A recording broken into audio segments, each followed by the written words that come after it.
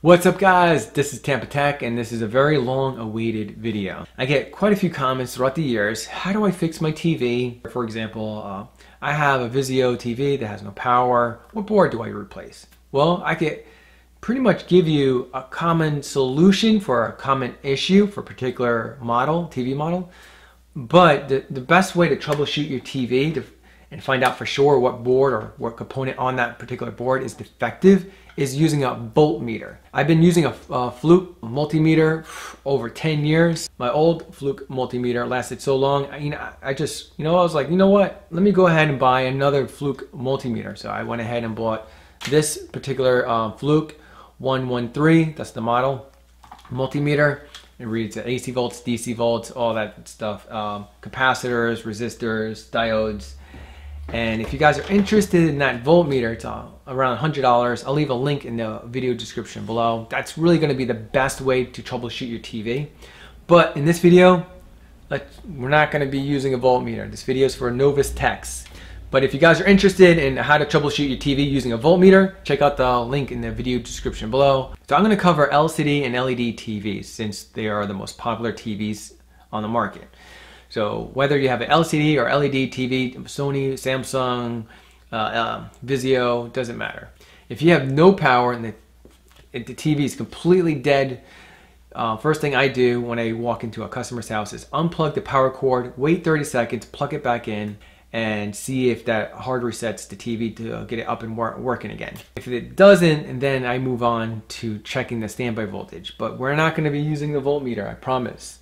There's another way to check the standby voltage by looking at the TV. If the TV is dead, has no power, whether you press the power button on the remote or the TV itself, but you do have standby light on the TV, that little red glowing light on the front of the, front of the TV, that usually means that the power board is working and the main logic board is defective. But if you have no power, no standby light, that usually means that your power board is most likely defective or bad and slash or your main logic board is bad.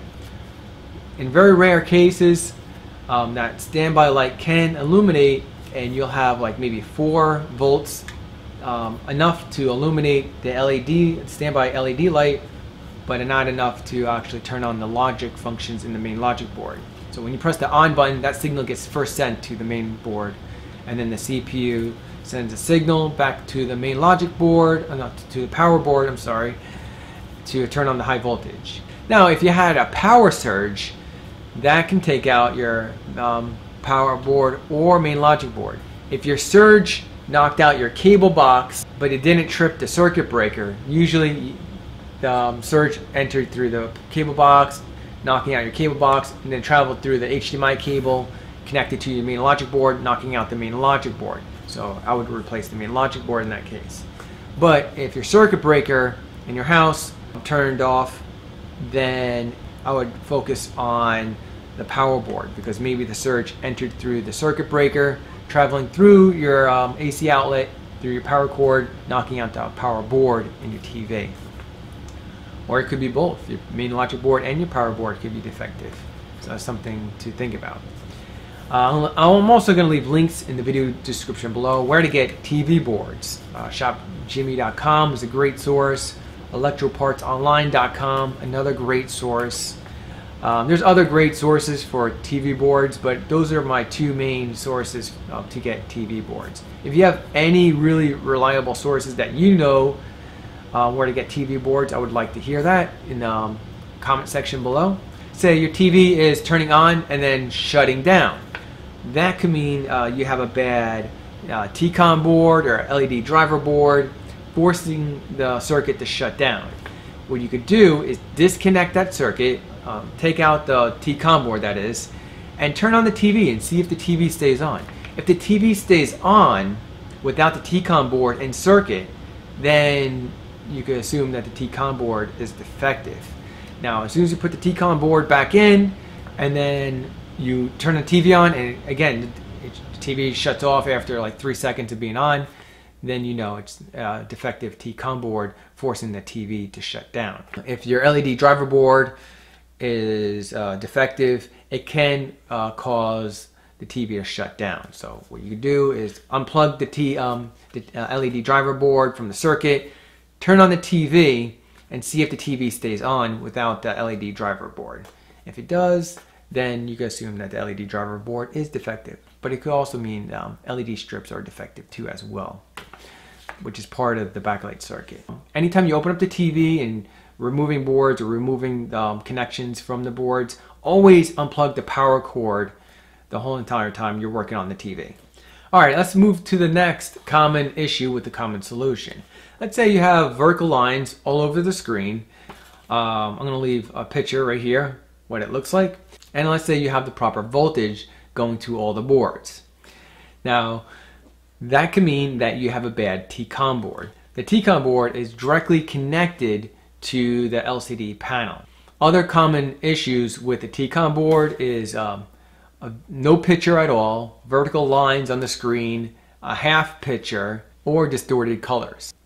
So even though a TCON board is a common solution for those issues, it, you can still have issues with uh, TCON connections. So the TCON board connection going to the LCD panel, or the LCD panel itself is defective. If the TV is over, uh, I think, a 32 inch, replacing the LCD screen is not really cost effective. Horizontal lines on the screen usually means that you have a defective LCD panel. Now, if you have no picture at all and you take a flashlight to the screen, you have the lights off in your room, and you take a flashlight to the screen and you hit the menu button or the input button and you see a very dark image of the input or menu on the screen, that can mean um, that the TCON board is working and the backlight circuit is not working, which is the LED driver board if you have LED TV or inverter boards if you have LCD TV. Turn off all the lights and you don't have a glow from your backlight, the screen, then usually that means that your LED strips are could be defective, the LED driver board could be defective. If you have a traditional LCD TV, your inverter boards could be defective or the CCFL tubes could be defective. Sometimes the inverter boards or the LED driver boards could be built into the power board, so keep that in mind. If you have no audio at all, but you do have a picture, again, try to hard reset that TV, see if that works. Uh, check your settings and see if the internal speakers are turned off.